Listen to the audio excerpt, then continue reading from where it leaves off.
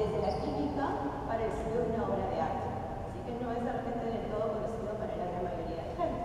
Entonces, si no me entienden algo, yo siempre preferiría que me preguntan, me preguntan, voy a muy rápida, pero preferiría que Ese es nuestro caballito de batalla. Cuando conseguimos esta máquina, pudimos comenzar a trabajar en este tema. ¿Por qué? Es un equipo de